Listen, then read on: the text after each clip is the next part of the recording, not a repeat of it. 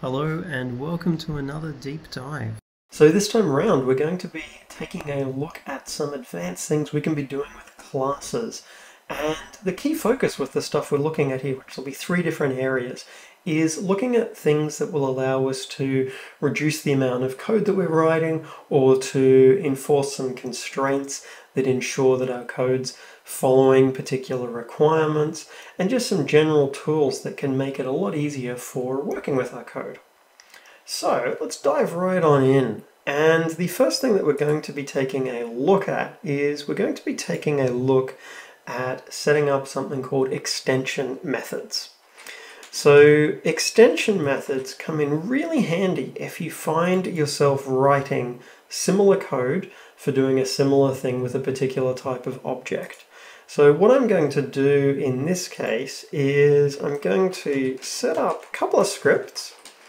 One that's going to be a cube controller script and then a, another one that what it's going to do is it is going to be our extension methods. So our transform extensions.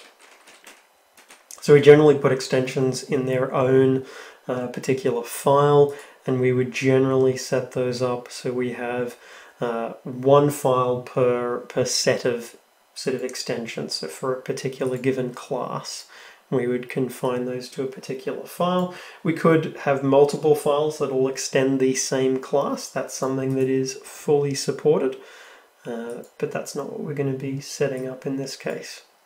So let's dive on in and set this up. So I want to set up an initial scenario where a fairly typical thing of we have our cube and we are wanting our cube to be able to be moving towards a particular target, which the way we would typically set that up is we would have a transform for the target. We'd also have a speed that that's moving at. We'll make that start at 2 meters a second. So the, the general way we would write this is we know we've got a vector 3 that we can do a move towards on and that we give it our current position. We give it our target position and then we give it the distance that it's allowed to move. So our speed by time dot delta time and we can set our transform position to that. So this is code that we commonly write and we might be writing stuff like of this a lot. We might have a lot of things that are moving around and so we're writing this sort of setup quite a bit. But there's a lot of extra things there, you know. We, we want to use often transforms because we might be getting rotation information. So there's a lot of extra bits we're having to write here, you know, move towards just the calculation, but it doesn't directly apply it. So it makes it a little bit more overhead in terms of typing. So that's where transform extensions we're going to set up come in handy. So first thing we want to do is these are not based off of mono behavior. We're also going to put these in a namespace. So this is a general convention you'll see with setting up extension methods that they will typically go inside their own namespace. And in this case, I'm going to call this transform move towards. And so our class, as well as being inside this namespace, will make it static. And then our function also has to be public and static. Now it can return something. In this case, it's going to be a void function, but we can return things. The key thing is it has to be static. So void, move towards. So again, being an extension method, the first parameter has to follow a very specific pattern. So we write this, then we give the type. So this is the class that the extension method is going to sit on. So in this case, transform. And then we give it a variable name. Then we give our second parameter, which is going to be our target, and then speed. Because what we can do is self position. Here's a vector 3, move towards, self dot position, target dot position, speed, by time dot delta time. Then with that, what we're able to set up here is this goes from being that to firstly we bring in our transform extensions. Then we can actually say transform dot move towards target speed.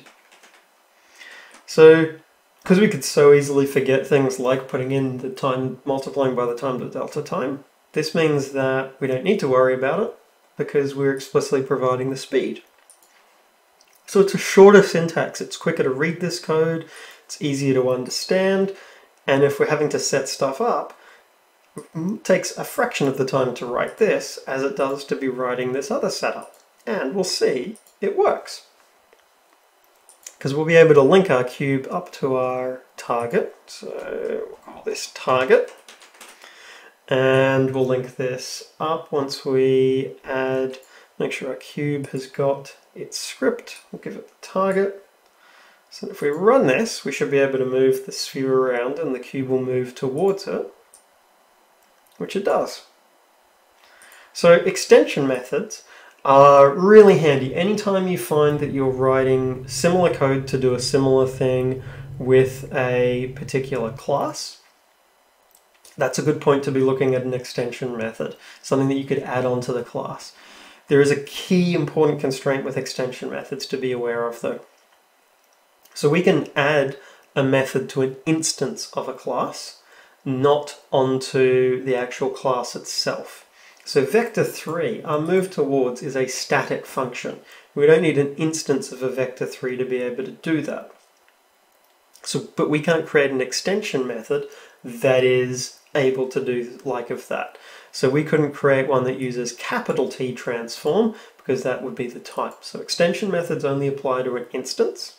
They also only add methods. They can't add variables onto a particular one. In terms of how we use them, how we set them up, general convention is we always put them in a namespace. So general convention, extensions go in a namespace.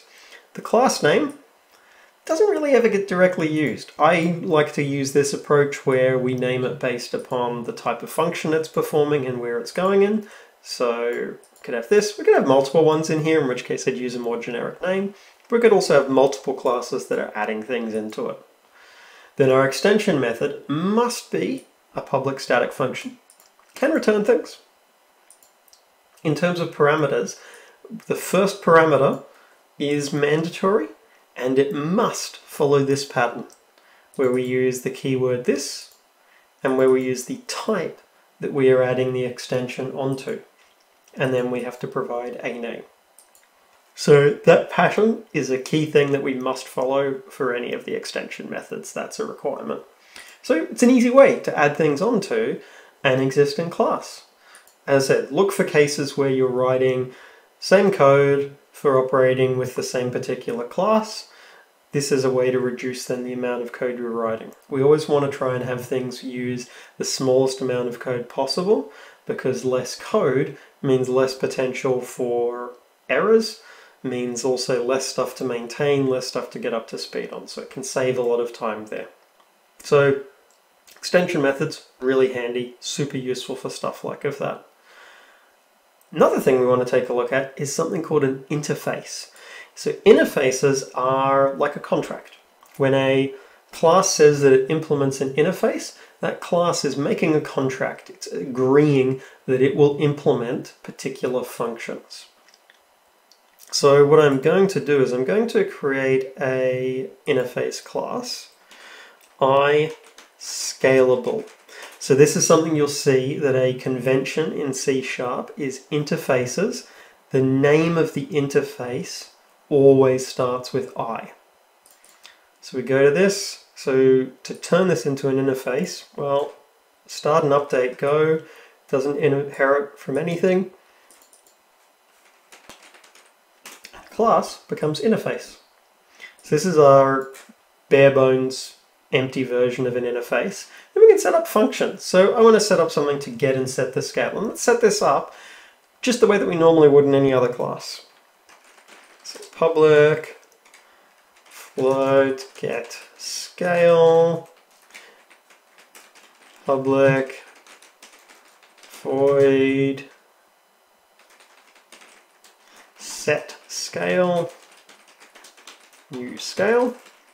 We can see it's indicating these in white and that is because with an interface everything so normally we're used to in a class the access level by default is private with an interface we don't actually get a choice of access level with an interface, everything is public. That's actually a mandatory thing with an interface. You can't have a function there in an interface that isn't public. So we don't need to specify. We also can't provide a body for these functions. As soon as I go to that, it won't allow it. So interfaces don't support having a default implementation. Now there are additions that are happening to the C-sharp language that may add in support for things like of that, but the flow-on process there is as to be added to the C-sharp language, then it has to be made available in the version of C-sharp that's accessible within Unity. So there can be a bit of a time delay there. For now, what we generally assume is that when we're setting up interfaces in Unity, that the functions are always going to be public and that we can't provide a body for those functions, we can't set up variables, things like of that. It's just functions. So let's see how this works and where we would use this. So cube controller, so cube controller currently inherits from mono behavior. Now, if you've come from C++, C++, you can inherit from multiple things. So the one class could inherit from 10 different things. That can create a level of chaos, and you very, very rarely see it. I, I don't recall ever actually seeing that in anything other than just a purely uh, sort of academic example as being a thing that is technically possible. A big part of the reason for that is having multiple things that you inherit from can be a real nightmare for conflicts there. Variables, functions, things like of that can conflict. So C Sharp doesn't allow you to inherit from multiple classes. You can only inherit from one. But you can implement multiple interfaces. And it functions very similar in many ways to inheritance. So I can say that this implements I scalable. And as soon as I do that, it gets grumpy at me. Because remember, interfaces are a contract. When you say that you implement an interface, you are saying you're implementing that interface, which means you have to provide these functions and you have to provide them in a very specific way. So in the interface they are public, we must make them public here as well. We cannot make them private or protected.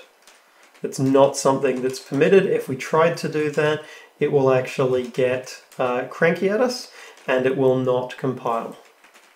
So turn the magnitude, and this one will set the scale. So interfaces, they are a great way of constraining how something needs to look, how something needs to behave, and that can be really powerful. And we'll see how and why in a moment, uh, because what we'll do is we'll actually use stuff to work with these scales. So in this case, we're setting the scale 1 times by new scale. So what I'm going to do is I'm going to create a scale manager class. That the point of this scale manager class is anything that implements iScalable, it's going to be able to set the scale of, but only for things that implement that interface. So anything that doesn't implement that, it won't actually be able to change the size of, and won't actually try to change the size of. So we'll get this set up. Now, what we might initially think is, okay, cool, I'm going to do serialize field and a list of iScalable and call that target and we'll also set our new scale here. So we might be thinking, yep, cool, we'll initially go with doing that. We'd normally be able to create a list of things there, but not when it's an interface. And an interface, we might be thinking, oh, well, it's another thing that we've set up. So of course, what we just do is we have to go and say, well, that's uh, system.serializable. But that's not a valid thing for an interface. Because remember, interfaces can't store data, so there's actually nothing to serialize. So the interface, we can't have, we can, you know, a list like this, we can create one, but we can't connect it up in the inspector. So this we would have to do game object, then update the game object scales. So we would loop through all of these particular ones for each target in targets. Now what we can do is we can, so scalable interface is get component. So just like we could do get component of a base class, we can do get component of an interface. And then if that scalable interface is not equal to null, then we can go, hey, scalable interface, set scale for the new value. Uh, we also would not be able to do a find objects of type. So find objects of type that implement an interface isn't a supported thing. And we'll see if we do find objects of type i scalable, uh, that is actually not supported it's not a valid parameter. If we take a look at our find objects of type, has to be things that are based off of uh, Unity's object type. So we can't find things based on an interface. So interfaces, you can't just easily use that as a type in the inspector, things like that, that's something to be aware of. But let's check and see how this behaves, because I should be able to connect up my cube and I'll connect up my target, but only the cube should change size, because the target doesn't have anything on it that implements iScalable. So the size of the cube should change.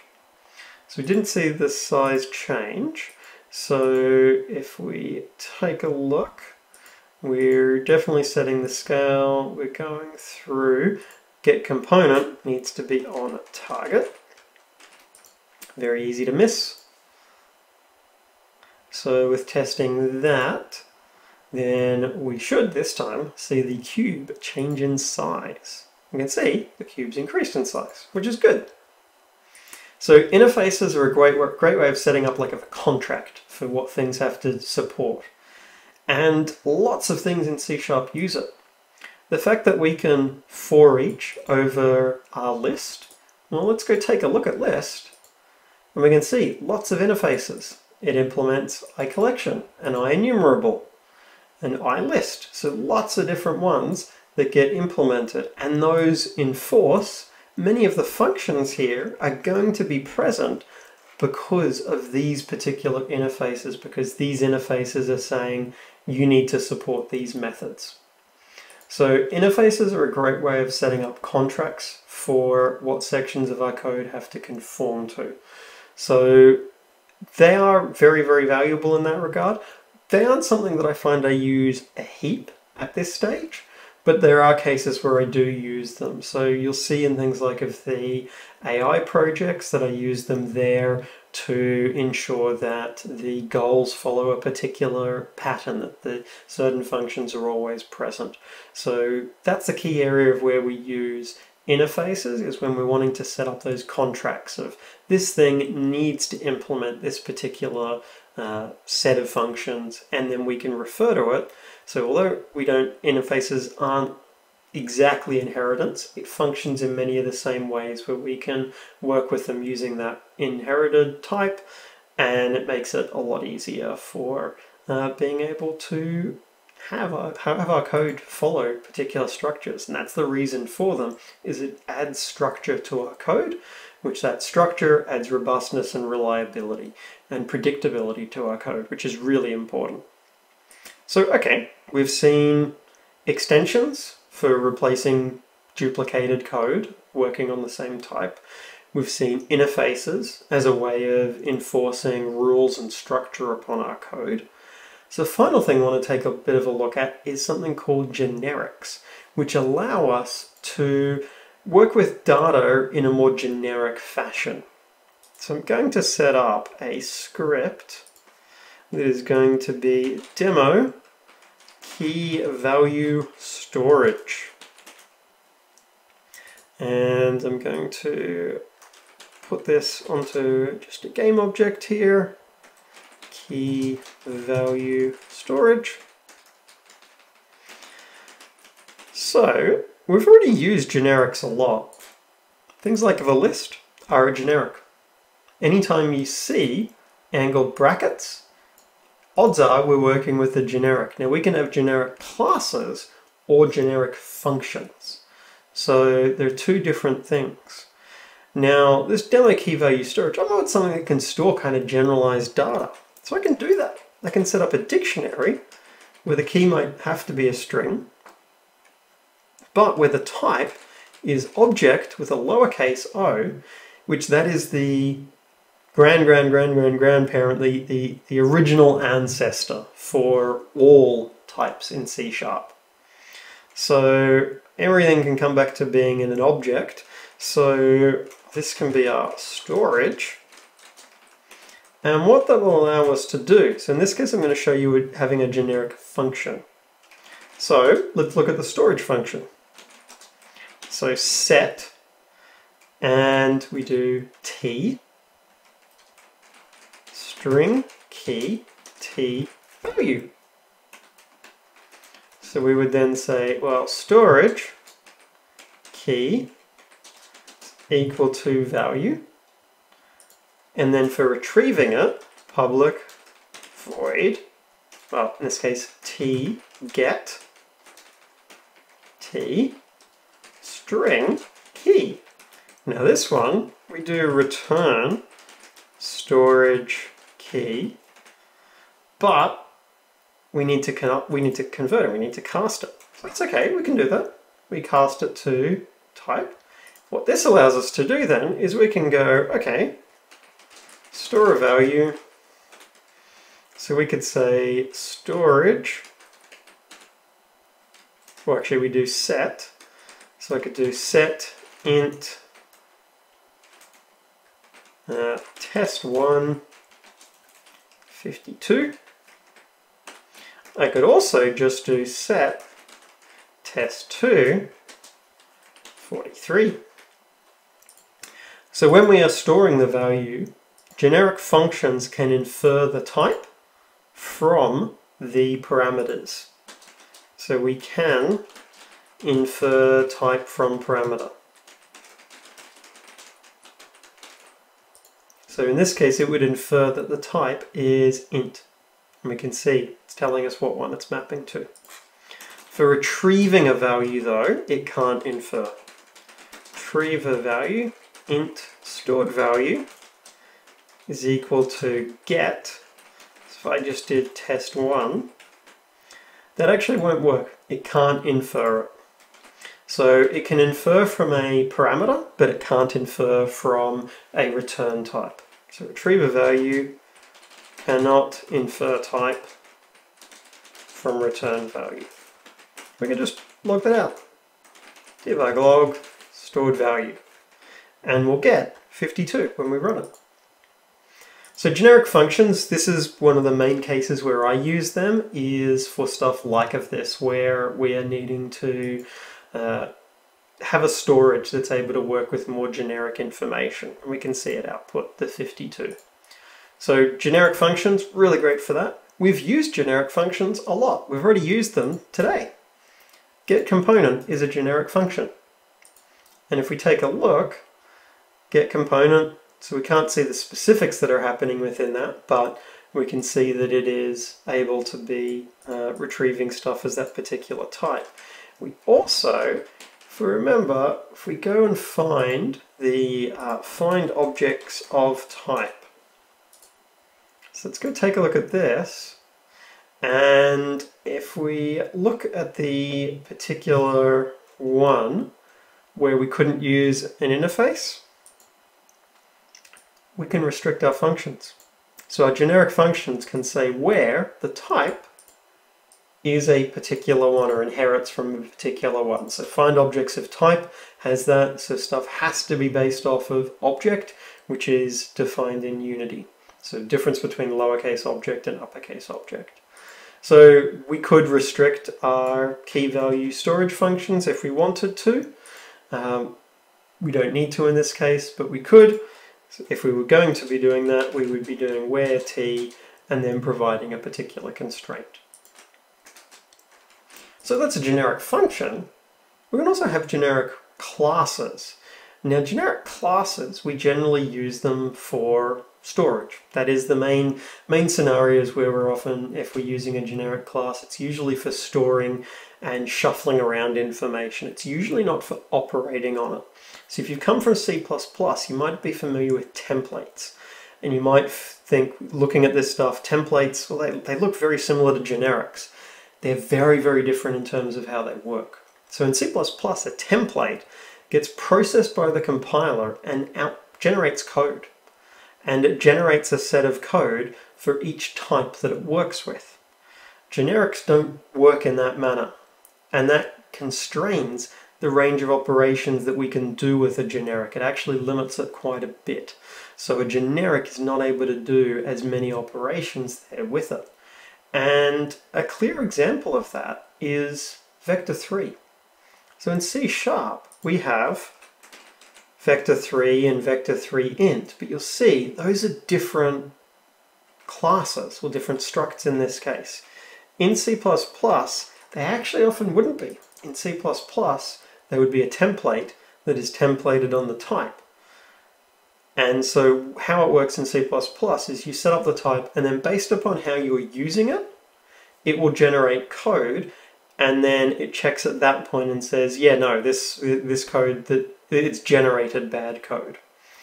Whereas C Sharp does a lot of that checking earlier, so that means it will run into those problems earlier. So something like of a, you know, a generic version of a vector 3, you're not typically going to see because while there are things you can do to make that work, they will have a performance impact and they'll result in a lot more complicated, messy code, so you won't typically see them. But let's see what it looks like when we set up a generic class. So I'm going to create a, another file for this. And generic class demo. So this won't be based on mono behavior. It will simply be like of this.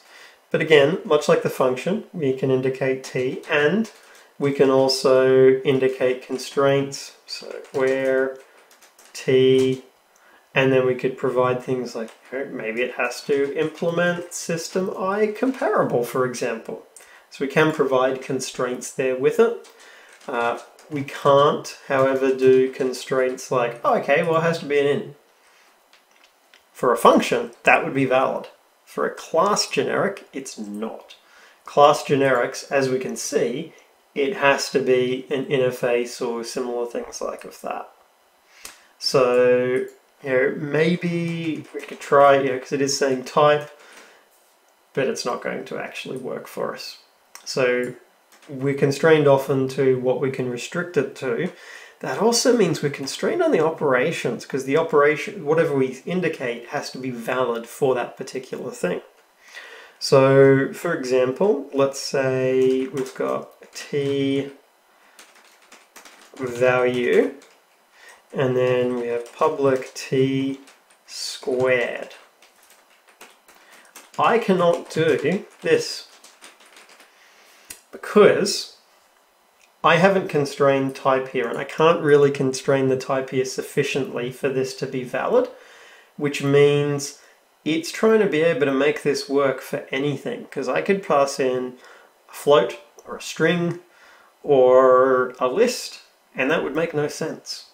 So whereas C sharp, so C, C++ if we ran this, it would generate that code and it would say, yeah, no, this, this template is trying to do something invalid for this particular one. C Sharp puts, puts that sort of check earlier and it says, no, you, you, you actually can't do this. I'm not even going to attempt to compile. So we're quite constrained with the generics and that's why generic classes, you will typically see them be used for things like of storage. So where they take information in and they're holding that information, they might shuffle it around, they might be sorting it, being able to provide it back in different ways, but they're typically not changing that information. They're not accessing the internals of it, and that's because of these constraints that we run into with generics. So, you know, that's where we could have something like a uh, you know, serialized, or actually demo dictionary, dictionary, and we could have a list of T, and that's our keys, and then a list, we need something for our values, so we can say list KV, so the actual word there, the letter, doesn't actually matter.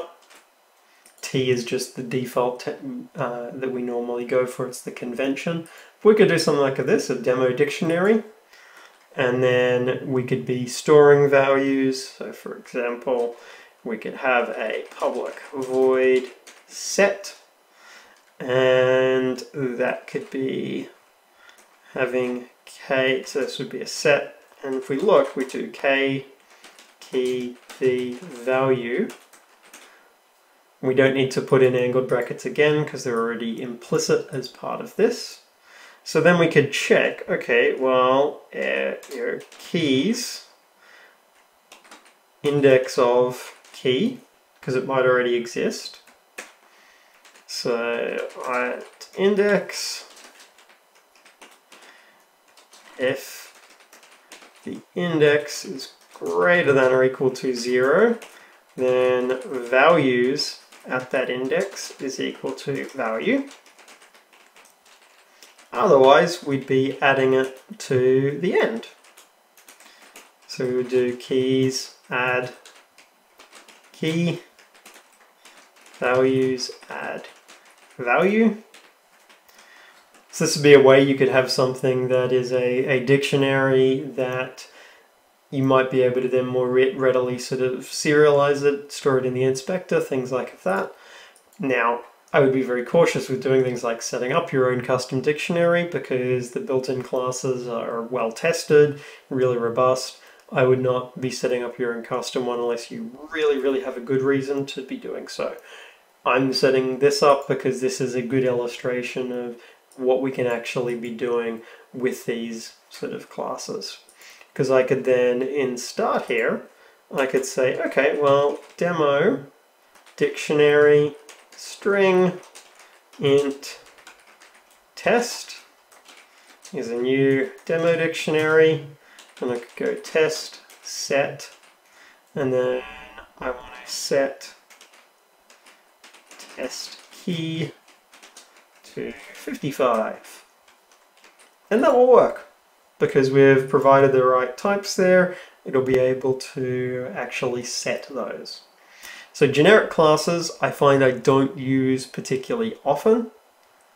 Now in this case we're getting a null reference because we need to make sure in our one here that we are newing these. So once we've got those newed, they're set up. Um, so yeah, generic classes I really don't use a lot. I use generic functions quite a bit, uh, things like for that key value storage, obviously when we've got versions of things like get components, stuff like of that, really commonly used, but I don't find that I use uh, generic generic classes much at all. Mostly because their their purpose is about storage. They're storing information, so I don't find I'm often needing to write custom storage ones there. So just to recap on the key things that we've got. So we saw extension functions. So extensions are, allow us to add additional functions to an instance of a class and they are really handy when we find that we're writing the same code for a particular type. So it allows us to remove that duplication and makes our general code a lot simpler, as we saw with the move towards function.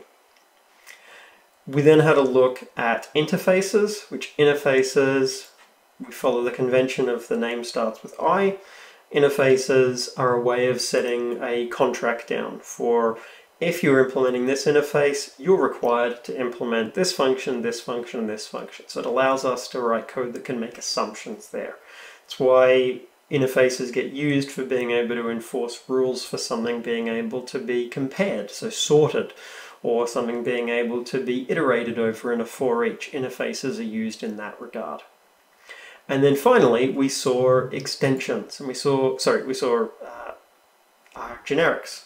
So in particular, we saw generic functions, which are really handy, and which we use a lot for things like get components. We've already used them for a bunch of scenarios. And we saw generic classes, which we don't tend to use very often because they do have some restrictions there in that we generally, when we're setting up a generic class, it works with the data, not on the data. So it stores, shuffles, moves it around, but doesn't actually modify the data. That's sort of the key thing there when we're looking at generic classes. So we don't tend to use those particularly often.